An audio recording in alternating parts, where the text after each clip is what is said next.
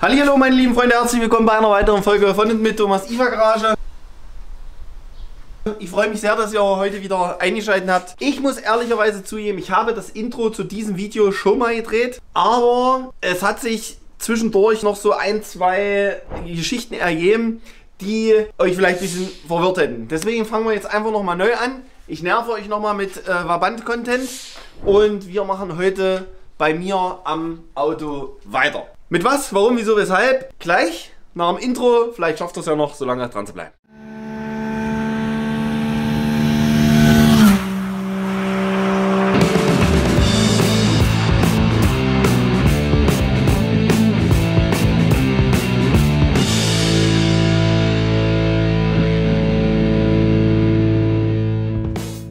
Und zwar erstmal vielen, vielen Dank für eure zahlreichen Meinungen zum Thema 3 Zoll Außenbett ohne Sturz oder 3,5 Zoll mit Sturz. Ich bin tatsächlich nach wie vor hin und her gerissen. Es war auch ungefähr 50-50 diese ganze Geschichte. Zumindest ist es so ausgegangen und hat mir in meiner Entscheidungsfindung nur so viel gebracht, als dass ich jetzt mittlerweile weiß, dass sehr, sehr viele von euch wahrscheinlich genauso hin und her gerissen sind wie ich. Zu dem Thema nochmal, was ich mit dem Daily-Thema gemeint habe. Mir jetzt einfach darum, mir ist schon klar, dass das kein Daily-Auto wird oder ist oder was auch immer, mit dem ich hier 3000 Kilometer im Monat äh, schruppe. Das ist mir vollkommen klar. Aber wenn es mich wie vor zwei Jahren einfach in den Kopf kommt und ich von Treffen von Erichs Erm hier 260 Kilometer nach Hause fahren will mit dem Auto, dann will ich das machen und da will ich nicht vorher gucken, wie doll ist der Reifen auf der Innenseite abgefahren.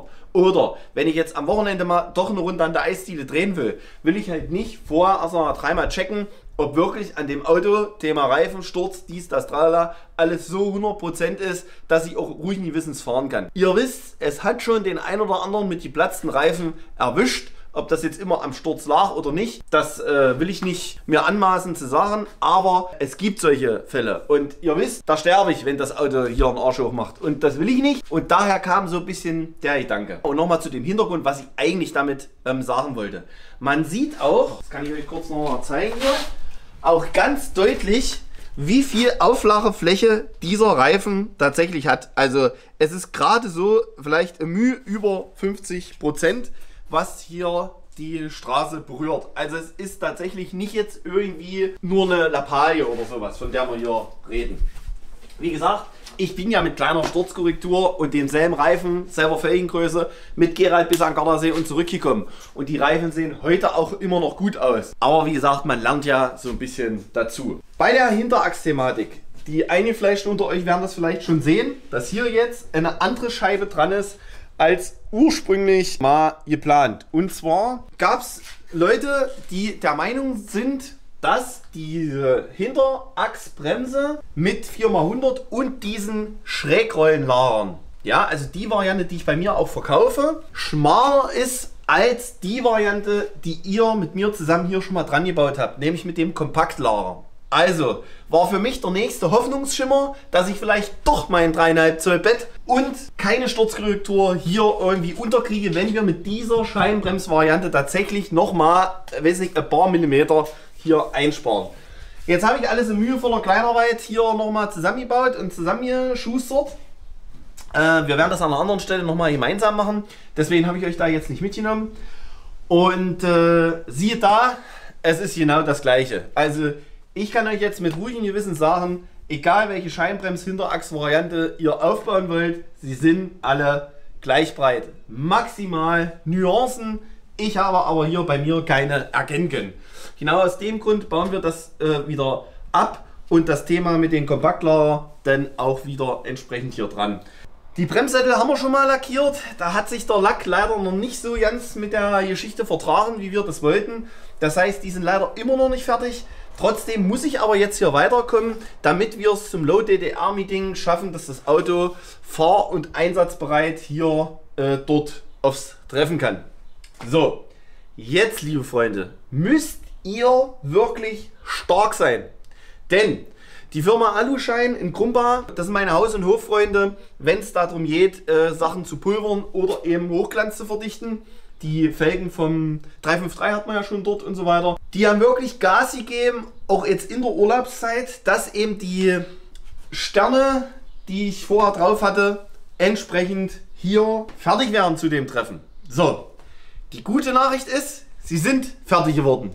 Die schlechte Nachricht sage ich euch gleich. Aber solltet ihr jetzt empfindliches Glied haben, dann würde ich jetzt an eurer Stelle abschalten. Denn ich präsentiere euch die hochglanzverdichteten Doktorsterne im 400.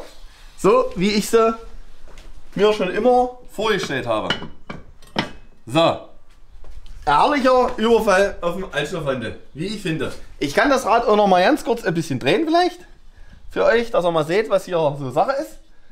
Ähm, genau. Und hab die halt abgeholt.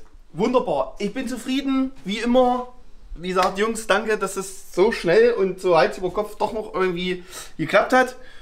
Aber ich weiß nicht, ob es auf der Kamera halt so rüberkommt. Denn die Betten sind selbstverständlich poliert und die Sterne hochglanzverdichtet. Im Moment, das sagt mir aber nur mein Gefühl, ich weiß nicht, ob das auf der Kamera so rüberkommt, ist halt der Stern ein bisschen glitzeriger als das Bett.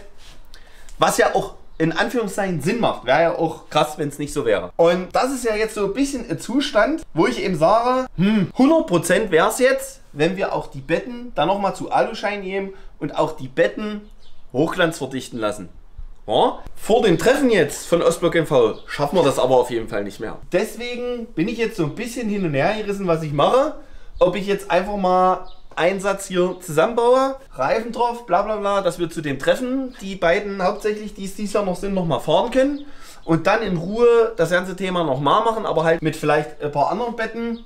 Oder oder oder. Weil, ich sag's euch ganz ehrlich, ich würde es tatsächlich irgendwie doch versuchen, im Winter die Pappe Mühe rauszuziehen, ohne die abzumachen. Es soll Leute geben, denen ist das gelungen und äh, genug, denen ist es nicht gelungen. Aber mit der richtigen Vorbereitung könnte ich mir vorstellen, schaffen wir das vielleicht irgendwie. Weil ich eben einfach das gerne so will, dass das fette Bett drauf ist, aber mit der Sturzgeschichte trotzdem vernünftig ist. Ich tendiere aber tatsächlich, das jetzt für den ersten Schritt halt so zu machen, dass wir einfach das 3 Zoll Bett draufschrauben, die Felgen zusammenbauen, Reifen drauf machen, Sturz rausnehmen, erstmal fahren, die paar Monate, Wochen, die jetzt dieses Jahr noch hat.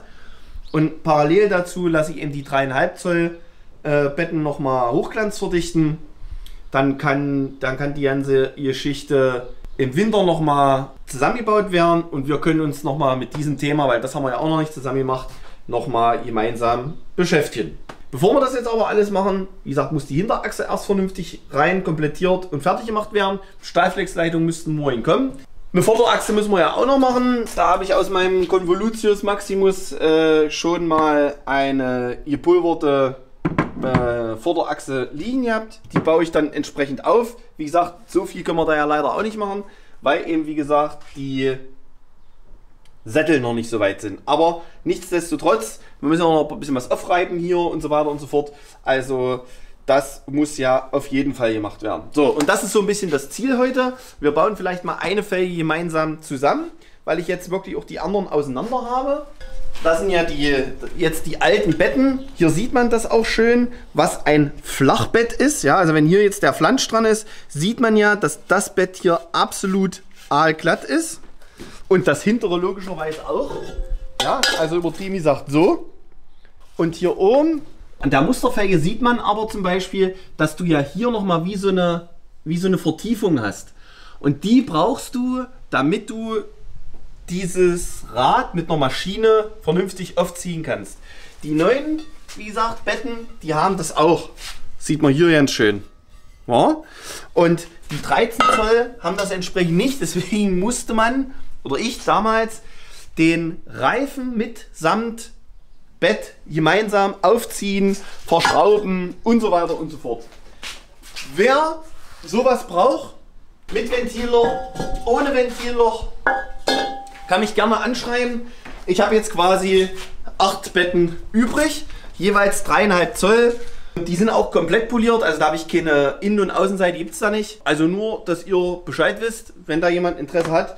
13 Zoll wollte ich jetzt eigentlich nicht mehr bauen, aber wer da Bock drauf hat, sagt einfach Bescheid. Für alle diejenigen, die aufmerksam äh, dieses Video gerade äh, verfolgt haben, die sehen ja vielleicht hier, dass eine Kübelkarosse im der IFA-Garage Einzug gehalten hat. Ich habe leider nicht die Platzkapazitäten, hier so eine Geschichten wie andere schwerwiegende YouTuber in irgendwelchen extra Hallen und Tiefgaragen und so weiter zu verstecken. Deswegen äh, steht das Auto hier und deswegen habt ihr es jetzt auch gesehen. Und bevor da jetzt tausend Fragen in den Kommentaren kommen, jawohl, das ist mein Kübel, einer meiner Kübel, der als einer der nächsten Projekte hier äh, in der IFA-Garage in den Mangel genommen wird. Die interessante Geschichte hinter dieser Thematik ist einfach die, dass diese Karosse die frisch gestrahlt und konserviert aus dem Strahlwerk Deluxe gekommen ist, die ist zum Verkauf steht. Wer also Interesse an so einer Rohkarosse eines originalen Kübels hat, also Papiere sind dabei, Plakette ist dran für diesen Nachweis, dass es eben originaler ist. Der kann gerne mal bei Kleinanzeigen vorbeischauen oder mich anrufen, anschreiben.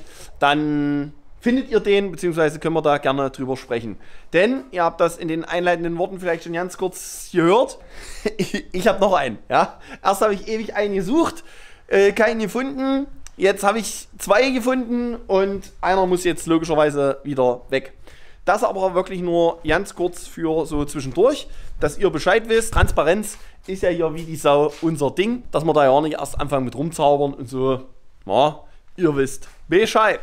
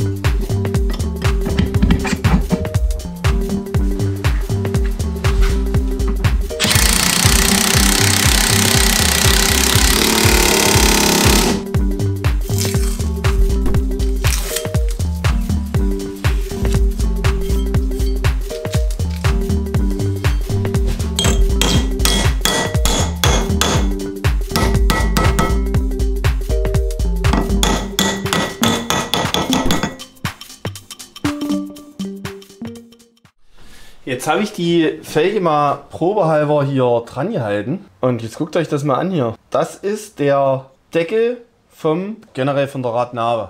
Aber eigentlich hört hier der Deckel drauf. Den kriege ich ja jetzt ja nicht mehr dran. Ich meine nicht, dass es jetzt äh, irgendwie schlecht aussieht, ne? Also hier soll ja in der Mitte sowieso so ein Trabant-Logo rein.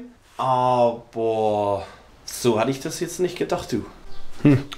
Problem ist, dass wir die Narbenkappen damals selber gedreht haben, weil die logischerweise hier nicht, weil es hier keine dazu gab und es auch keine gibt. Und die hinteren haben wir damals so angepasst, dass das die alte Bremsscheibe so drauf gepasst hat. So eine kleine Presspassung und so, muss ein bisschen drauf dickern. Fertig. So, das funktioniert jetzt hier, aber leider gar nicht. Nicht, nicht. Ja, nicht, nicht. Ich habe jetzt auch noch mal die andere Radnabe mir genommen und das hier so versucht, aber das steht über hier seht ihr es. Und das bedeutet, es passt halt auch nicht hier durch. Das lag quasi außen auf. Deswegen ist das innen auch, wenn man das sieht, ein Stückchen ja, weiter und da hat es dann drauf gesteckt. Wie gesagt, das finde ich jetzt nicht schlecht, um Gottes Willen. Aber Fakt ist, vorne haben wir das so nicht. So, und ich mache da nicht vorne eine blaue Kappe drauf und hinten hier so eine verchromte. Oh, riecht mich das schon wieder auf, ey. Ich habe das Ganze jetzt vorne nochmal gemacht. Da seht ihr auch genau, warum ich diesen Quatsch hier veranstalte, ja. Also ich habe da mal so eine Kappe von hier hinten nochmal vorne angehalten. Mm, das könnte schon auch funktionieren. Also die passt hier in die Geschichte ähm, auch rein. Also da muss ich jetzt mal noch zwei so eine Käppchen hier bestellen. Aber am besten gleich Zähne. Hm. So, wir haben uns jetzt etwas zurückgezogen hier in mein wunderschönes Büro, um Ihnen hier eine kleine Kostprobe dieses wunderschönen Zusammenbaus dieser Felge zu geben. Ich bin äh, sehr froh, dass Sie hier eingeschaltet haben, aber wie ich gerade sehe, ist der Akku der Batterie leer, sodass ich jetzt leider Gottes nochmal alles ab und aus und umbauen muss, damit wir hier zurechtkommen. Nur nochmal für euch ganz kurz. Äh, hallo. Ich äh, habe jetzt mit Absicht nicht weitergemacht bei den Achsen, die irgendwie umzubauen, weil ihr das A ja jetzt einmal schon gesehen habt. Ähm, vorne ja sowieso, was die ganze Geschichte anbelangt. Da will ich euch jetzt damit nicht langweilen, dass wir wieder nochmal eine Achse und dies und das und Buchsen und schlammig tut. Aber ich glaube, das haben wir noch nicht zusammen gemacht oder ich weiß, wir haben das hier noch nicht zusammen gemacht. Deswegen ist das für euch vielleicht so ein bisschen interessant, hier auch mal eine dreiteilige Felge zusammen mit mir als Laien, der das jetzt hier, um genau zu sein, zum zweiten Mal in seinem Leben macht, mal mitzumachen. So will ich das mal vorsichtig behaupten. Gut, Akkuwechsel, dann geht's los. Bevor wir jetzt tatsächlich mit der Felge an sich ähm, anfangen, die zusammenzubauen, packe ich erst noch mal was drunter. Ich habe hier wunderschön frisch gewaschenen Holunder. Den packe ich jetzt hier drunter, auch wenn die Tischdecke noch sauber ist. Ach, riecht schön frisch gewaschen. Bevor wir quasi damit anfangen, wollte ich euch die ganze Thematik noch mal ganz kurz etwas näher bringen, was die Inhalte dieser äh, dreiteiligen, eigentlich sind es, wenn du so willst, vierteiligen Felgen hier anbelangt. Und zwar einmal der Stern itself, dann das Außenbett mit Ventil, also mit Bohrung fürs Ventilloch, das Innenbett und ein sogenannter ähm, Dichtring, der theoretisch die beiden Hälften mit einem Nullring, den zeige ich euch gleich, entsprechend abdichten soll. Plus natürlich die ganzen Schrauben und so weiter. Also äh, ja, das nur mal so fürs Protokoll. Wir haben, wie gesagt, beide oder alle Geschichten in 3 Zoll. Also so baue ich es jetzt, um jetzt wirklich mal letzte Unklarheiten zu beseitigen. Übergangsweise, ja. So, ich ziehe mir jetzt hier auch ein paar Handschuhe an, ein paar saubere. Einfach, weil ich nicht will, dass mit irgendwelchen Schweiß oder was weiß ich was hier, gerade diese hochglanzverdichtete Geschichte hier in irgendeiner Form leidet. So, deswegen gebe ich mir da jetzt auch besonders viel Mühe, deswegen sind wir auch jetzt hier reingegangen. Vater hat sich extra die Hände gewaschen und so weiter. Und jetzt müssen wir das bisschen mit hier Buffet, hätte ich fast gesagt, das ganze Thema hier über die Bühne bringen. Nämlich, wir fangen an mit diesem ähm, Dichtring. Wie gesagt, ganz günstig. Alles an den Fällen ist ja ganz, ganz günstig. Die, die Dichtgummis, ah doch, die, die, sind tatsächlich günstig. Die sind, die sind ja auch nicht so teuer, aber fragt nicht nach so Felgenringen oder überhaupt nach so einer ähm, Felge an sich. Das Schöne hier ist, der hat in der Mitte eine kleine Nut und diese Dichtringe entsprechend auch, sodass die hier wunderbar auf diese, auf diese Geschichte, auf diesen Adapterring hier draufkommen. Ich wollte, wie gesagt, nur noch mal nicht unerwähnt lassen, ja, dass ich diese Thematik hier, wie gesagt, genau zum zweiten Mal in meinem Leben mache. Einmal mit den 13 Zoll, die ihr ja kennt mit dem Stern und jetzt diese ganze Geschichte nochmal mit den 15 Zoll. Jetzt gucke ich nur noch mal, dass der überall auch wirklich richtig sitzt. Und dann packe ich mir mal hier das Bett hier hin. Und dann seht ihr auch schon, wie das Ganze hier funktioniert. Ja? Also der Dichtring liegt dann jetzt hier quasi auf. Jetzt, weil ich finde, dass das so einem Gummi nicht schadet, würde ich diesen Gummi ein bisschen fetten. Ja, also ich will es jetzt hier nicht übertreiben, wir wollen keine Vorderachse abschmieren, ne? Aber ich mache das auch mal hier neben Pullover. Ich denke, das macht man ja bei so Gummi jetzt auch wie bei zum Beispiel äh, Ölfilter oder so beim Viertakter, ja, fettet man ja oder ölt man ja diesen Nullring vom Ölfiltergehäuse auch immer. Und da würde ich jetzt behaupten, wie gesagt, wenn wir hier ein bisschen mit Bedacht vorgehen, ist das vielleicht für diesen, diesen Dicht Ring, für diesen Nullring auch nicht so das Allerverkehrteste, wenn der ein bisschen geschmeidig hier für unser Vorhaben ist. Jetzt ich meine Handschuhe. Habe mir dabei das Fett ins Gesicht geschmiert. so. Und den lege ich jetzt schon mal hier so auf. Jetzt ziehe ich den anderen Handschuh aus. So. Und das hier. Wo sind die Löcher? Hier. So. Jetzt muss ich mal kurz aufstehen hier. Zwei Schrauben rein.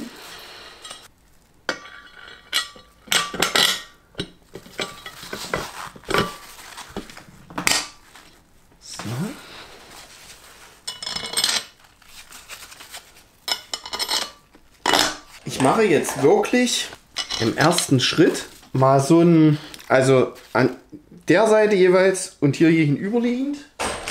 Ich habe irgendwo mal gelesen, man muss gar nicht über Kreuz die ganze Geschichte machen, aber irgendwie habe ich da ein besseres Gefühl bei der Geschichte und deswegen mache ich das jetzt zumindest für, für den Anfang so. Ich habe auch den Akkuschrauber auf hier überhaupt nicht dolle gestellt. Das ist erstmal wirklich nur geheftet. Aber jetzt so grob, so sieht das ganze Thema gleich aus. Ähm, ich die ganze Geschichte hier erstmal zusammenschrauben kann, damit wir eine, so eine Grundfestigkeit der Felge einfach hier erreichen. So eine Geschichte hier braucht auch tatsächlich keine 25.000 Newtonmeter. Es reichen, glaube ich, so um die 25. Da lese ich nochmal genau, oder gucke ich gleich nochmal genau, wie viel das waren. Ich habe jetzt jedenfalls den Akkuschrauber mal so, wie gesagt, auf eine der kleineren Stufen gestellt.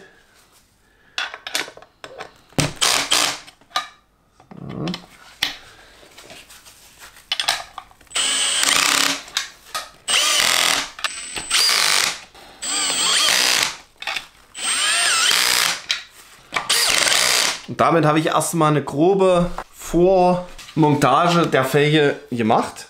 Gut, also ich habe gerade noch mal mit der Felgenbauer gesprochen. Wir haben erstmal bis hierhin alles richtig gemacht. Also die ersten Viere über Kreuz, gut, ich habe ähm, achte gemacht über Kreuz. Damit haben wir erst einmal eine grobe Geschichte so richtig. Und jetzt macht man immer so die Felder gegenüber. Also 1, 2, 3, 1, 2, 3, 1, 2, 3 und dann sind wir fertig. So. Und das mit den 25 Newtonmetern war von der Sache her auch richtig. So viel ist es eigentlich auch nicht. Man muss halt nur die Schritte relativ häufig wiederholen. Vor allem, wenn laufend das Telefon klingelt.